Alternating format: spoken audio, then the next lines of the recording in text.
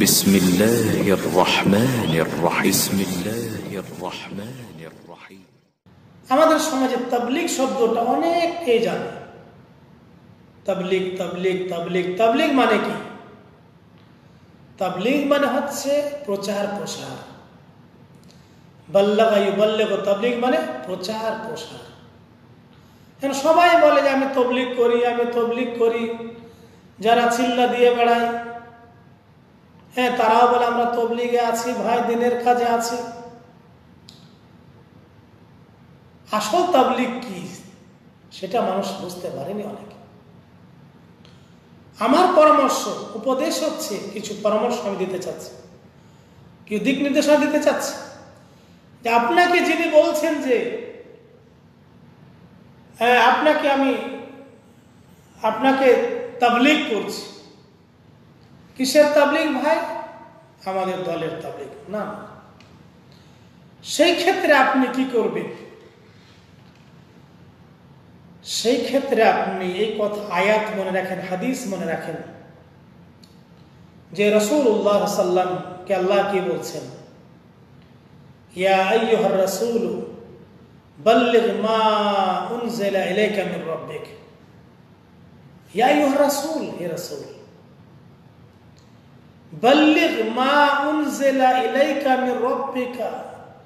তোমার রবের পক্ষ থেকে যা নাজিল হয়েছে, তার তুমি তাবলিগ করো।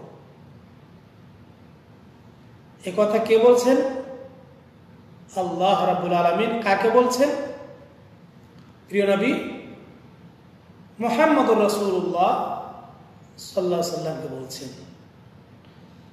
তাহলে আল্লাহ রাবুল আলমিন তার নবীকে বলছেন যে, তাবলিগ করো যা তোমার উপরে নাজিল করা হয়েছে।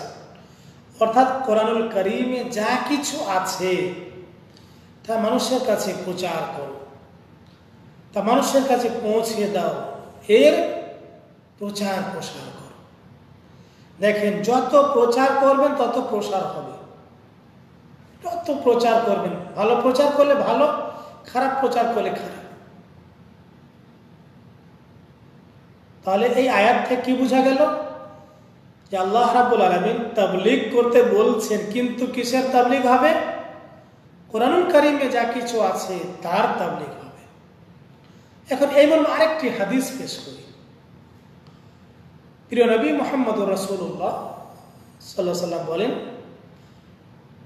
বল্লেগু আন্নি আয়া। বল্লেগু মানে তোমরা তবলিগ করো। প্রচার প্রসার করো। আন্নি মানে আমার পক্ষ থেকে। ওলাও আয়াত, যদি একটি আয়াত হয়, অথবা একটি হাদিস হয়,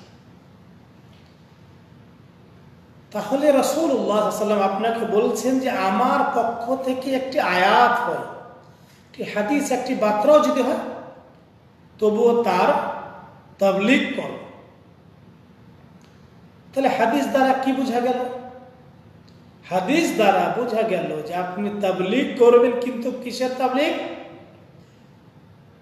যা আপনি পেয়েছেন রসুল্লাহ সাল্লা সাল্লামের পক্ষ থেকে তার তাবলিগ করবেন। কোরআনুল করিমে আল্লাহ রাবুল আলমিন কি বললেন?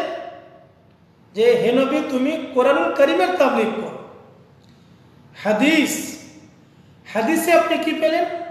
যে রসুল্লাহ বলছেন যে, আমার পক্ষ থেকে যা পেয়েছ সেটার প্রচার কর। তাহলে আপনি, আপনাকে একজন লোক বলছে যে, ভাই, একটু তবলিগে আসি, এসেছি আমি। তবলিগে এসেছি তবলিগে এসেছি। তবলিগ করে বেড়াচ্ছি, আমি মোবাল্লিগ যাচাই বাছাই করবেন কীভাবে? এই ক্ষেত্রে আপনাকে আমি তিনি পরামর্শ, উপদেশ দিব। ওই লোক যদি কোরআনুল করিমের তাবলিগ করে এবং রসুল উল্লাহ হাদিসের তাবলিগ করে, তাহলে তিনি সঠিক আকিদা মানহাজের লোক। আর যদি নিজের মাঝহাবের দলের কিতাব পড়ে পড়ে শোনায়, যদি কোনো ব্যক্তি আসরের নামাজ পড়তে পারে জামাতের সাথে, তাহলে ছত্রিশ লক্ষ হ্যাঁ আঠারো হাজার এত নেকি পেল। জিজ্ঞাসা করা হলো যে কথাটি কোথায় আছে? বলছে কোরআনুল কারিমে আছে। কোন আয়াতে আছে? একটু বলে বলছে কোন হাদিসে আছে। কোন হাদিসে আছে? বোখারি, মুসলিম, আহমদ সাহেব সাহেবনে মাজা বলুন মারা তখন লাস্টে কি বলছে আসলে আমাদের মুরব্বীরা একটা গণনা করে বলে দিয়েছে। এই তবলিগ করে কোনো লাভ হবে? তাহলে আমি আবারও বলি যে দাওয়াত ও তবলিগ উম্মতে মোহাম্মদ হচ্ছে দাওয়া। দাওয়াতের কাজ করতে হবে। কোরআন এবং হাদিসের দিকে মানুষকে আহ্বান করতে হবে, ডাকতে হবে, দাওয়াত দিতে হবে। কোরআন এবং সহি হাদিসের কথা মানুষের কাছে প্রচার, প্রসার করতে হবে। তাহলে কোরআন এবং হাদিসের তবলিগ করবেন, কোরআন এবং হাদিসের দিকে মানুষকে আহ্বান করবেন। এখানে আপনাকে বলে দিই যে আপনারা যারা, আপনাদেরকে যারা আহ্বান করে, দাওয়াত দেয়, এসো এসো, এদিকে এসো এদিকে এসো, দেখবেন যে সেই ব্যক্তি আপনাকে কোরআন এবং করিমের দিকে এবং হাদিসের দিকে দাওয়াত দেয় কিনা? কোরআন এবং হাদিসের দিকে যদি দাওয়াত দেয়, সেটা আপনি গ্রহণ করবেন। আর যদি কোরআন, হাদিস ছাড়া অন্য কিছুর দিকে দাওয়াত দেয়, সেটা আপনি গ্রহণ করবেন না। কোরআন এবং হাদিসের তবলিগ যদি করে, ঠিক আছে। কোরআন এবং হাদিসের তবলিগ না করলে, সেটা তাবলিগ কোরআন এবং হাদিসের তাবলিগ নয়।